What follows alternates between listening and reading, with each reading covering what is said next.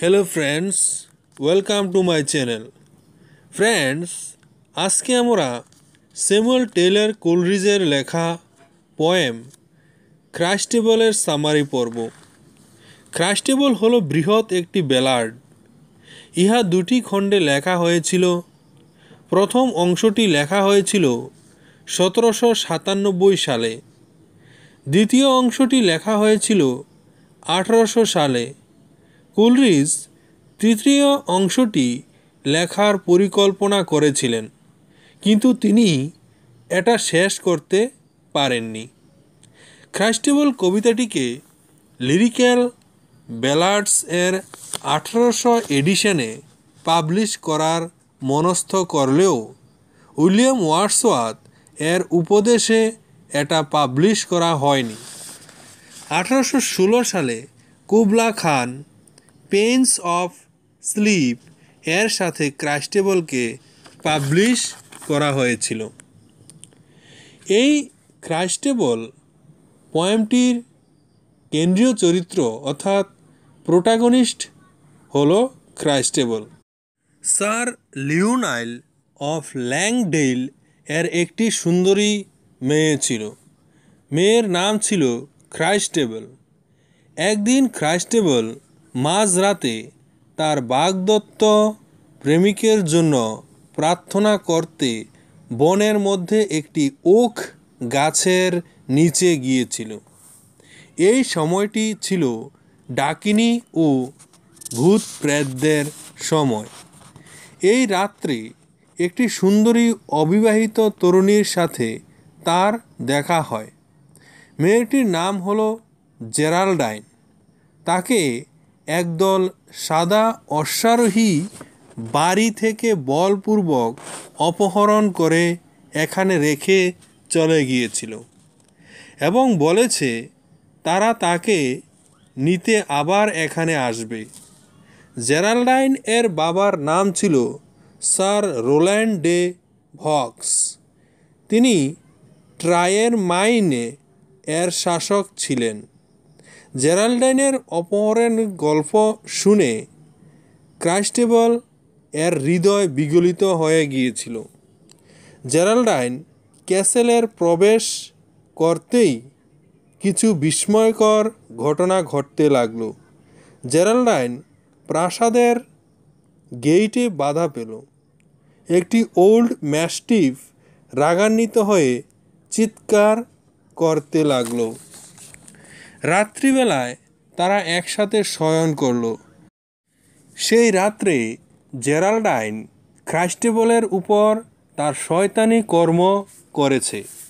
তার এই শয়তানি কর্ম এতই শক্তিশালী ছিল যে খ্রাস্টেবল জেরাল্ডাইন ছাড়া আর কিছুই ভাবতে পারছিল না।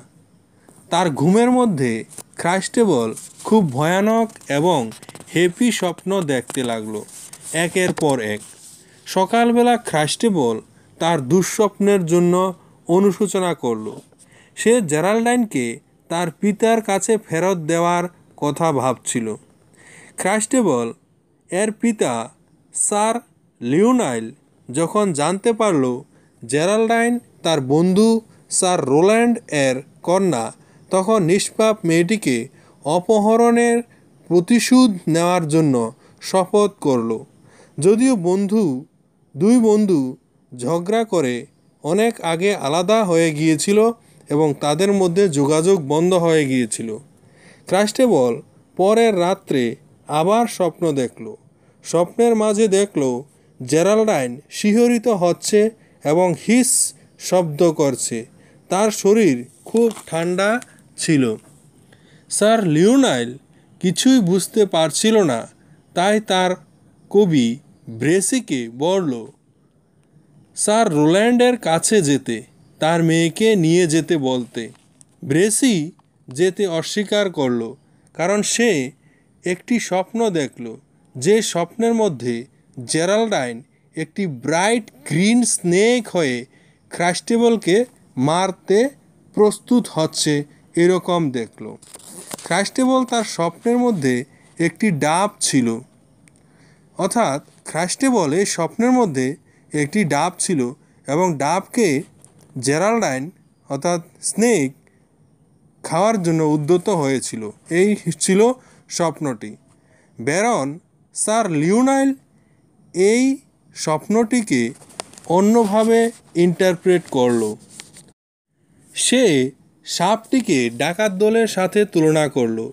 জেরাল্ডাইন, স্যার লিওনাইন এর দিকে সুন্দর স্বর্গীয় চোখে দেখল, কিন্তু খ্রাস্টেবলের দিকে দেখল বক্রভাবে।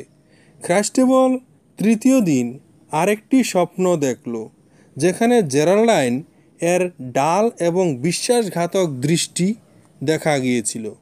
খ্রাস্টেবল তার পিতা স্যার লিওনাইলকে আবার বলল যে জেরাল্ডাইনকে যেন তার পিতার কাছে পাঠিয়ে দেয়। এতে স্যার লিওনাইন মনে করেছিল যে খ্রাস্টেবল এর মনে হয় জেরাল্ডাইনের প্রতি ঈর্ষা হচ্ছে। পিতা ইনসাল্টেড ও ডিসগ্রেস ফিল করেছিল। স্যার লিওনাইল খুব রাগান্বিত হয়েছিল এবং তার কবি অর্থাৎ তার চারণ কবি বার্ড ব্রেসিকে বলল, জিরাল্ডাইনের পিতার কাছে যেতে। এইবার ব্রেসি পিতার কাছে গেল। আর ব্যারন, স্যার লিওনাইল ক্র্যাস্টেবলকে পেছনে ফেলে, তা অর্থাৎ তার মেয়েকে পেছনে ফেলে জেরাল্ডাইনের দিকে যেতে লাগল। অসমাপ্ত কবিতাটি এখানেই শেষ হলো। So friends this is the short summary of the poem Christabel which was written by Samuel Taylor Coleridge friends share this video with your friends and give a like for this video if you think that this is a helpful video for you and Please uh, subscribe my channel. Have a nice day.